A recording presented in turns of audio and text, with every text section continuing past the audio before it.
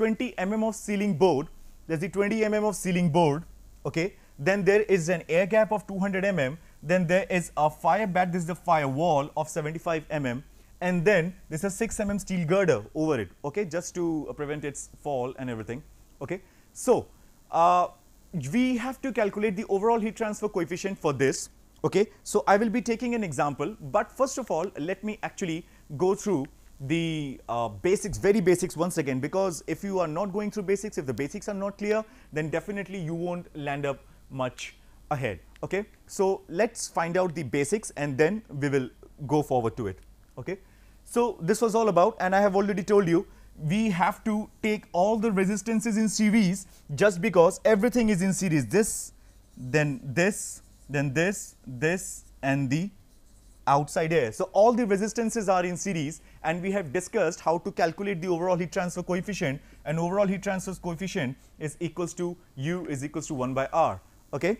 So, let us go for this. This was the blank table which we uh, which I showed to you. Okay. Now, let us discuss how an engineer does it, a professional and practical way to a theoretical concept of heat transfer through composite wall. Last time I have explained you the professional uh, means last time I explained you the theoretical concept of the heat transfer through composite wall. Basically, it was including the uh, Newton's law of convection as well as the Fourier's law of conduction. But before that, let us brush up the basics.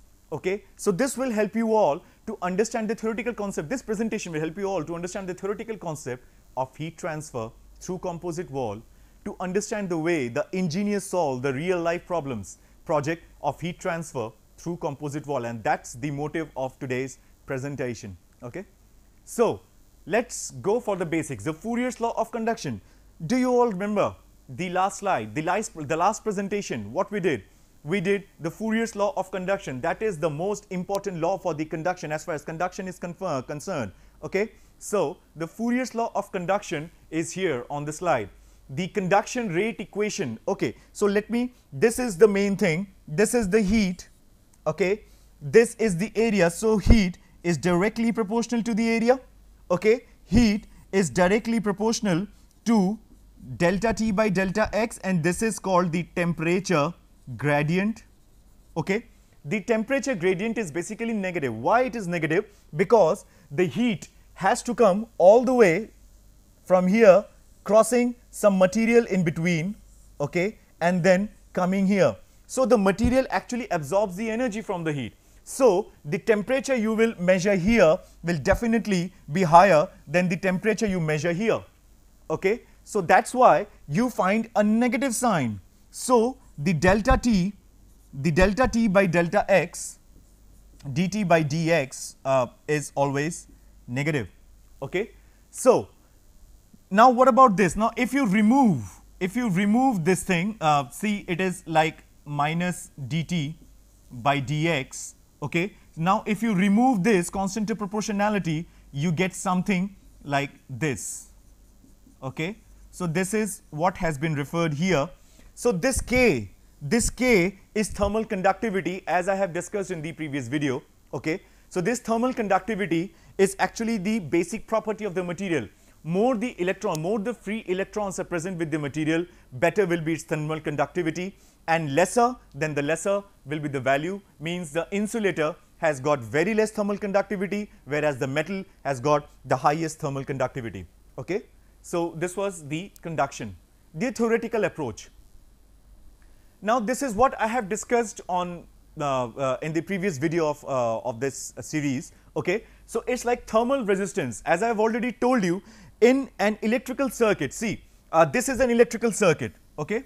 This is an electrical circuit. So if you see an electrical circuit it is like the resistance okay you have to establish potential difference. You have to establish potential difference across the electrical circuit. Then across the resistance electrical resistance the current flows. Okay? See it's written here. It's i it's i is equals to delta V by R. Okay. So, if you talk about the electrical circuit, in electrical circuit you have to apply potential difference across its ends and across the resistance then the charge in the form of current will actually flow. So, in thermal circuit, in thermal circuit in place of current heat flows. So, I will be replaced by Q okay, in thermal circuit heat flows and there the current was flowing okay. Delta V means the potential difference is being replaced by delta T as we all know if we do not have delta T then definitely heat won't flow. It has to be like higher level and in the lower level and if there is no higher and lower level definitely we know that heat won't flow. Okay. Then after that then if this is the thing then what's the thing? Now if we take about uh, the thermal circuit so the electrical resistance the electrical resistance is now being replaced by the thermal resistance okay. So anything in format of I is equals to delta V by R in thermal circuit it will be Q, it will be Q delta T by R. So, if we arrange everything in this format, whatever is left, we will get that value as the resistance. So, if we look at here, this is the thermal conductivity. Okay, This is the Fourier's law of conduction. So, in Fourier's law of conduction, see Ka T1 minus T2 that was the delta T and this was the thickness L. Okay. So, if it is done like this then we know if we arrange it in this format delta T by R then this is delta T, this is Q. So, L by Ka remaining will be the resistance. Is it all clear? So, L by Ka since we have put it in this format delta T by R is equals to Q. Okay, so delta T is there. Okay q is here. So the remaining l by ka l by ka is the thermal resistance for the conduction. Okay now let's talk about for newton's law of cooling newton's law of convection. Okay newton's law of convection tells us this is the formula. I have already discussed it in my previous video okay so newton's law of convection is ha delta t okay now just put it in this format once again just put it in this format once again. So, what will be the format then? See, this is the delta t, this is the q. So, what's remaining? The remaining is R convection. So, it is 1 by HA. Okay. So, if you put it in that format, you will get the thermal resistance for convection. This is the thermal resistance for conduction. Okay. So, this is how you do it. This is a solid wall. Okay? This has a surface temperature. This has an ambient temperature. This has a surface area. This has a convective coefficient. The air outside the wall has a convective coefficient h. And then what do you do? Suppose uh, it, it is only showing the convective because there is no k here. There is no thickness here. Suppose it is in series then it will be like this okay so this is ts this is T infinity, then this will be L by K, uh, here it is x. So, it is x by K A and just uh, hold on.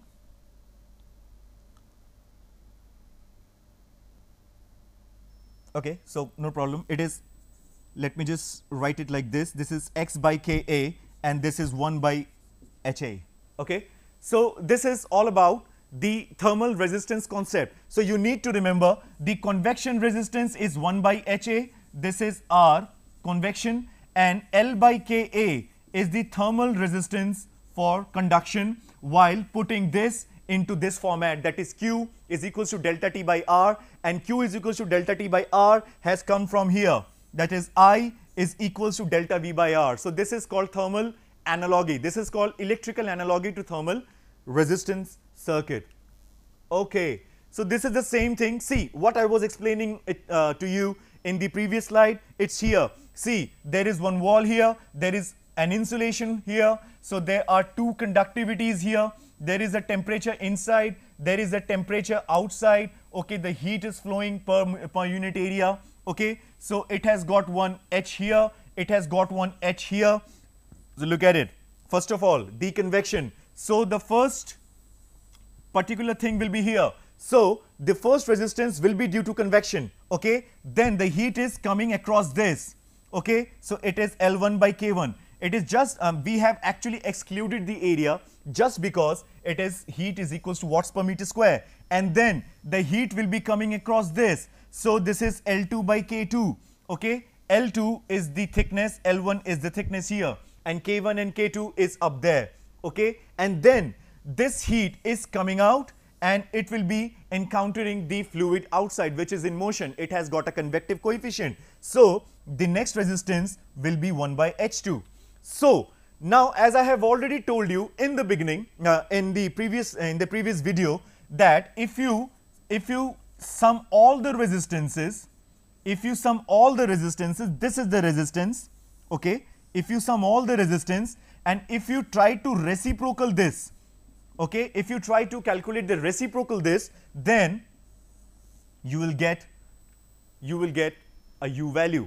The u value is overall heat transfer coefficient.